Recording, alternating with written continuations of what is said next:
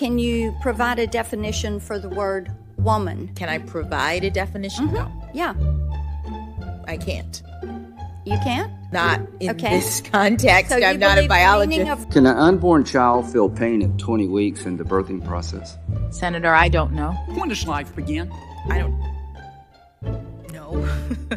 When does equal protection of the laws attach to a, to a human being?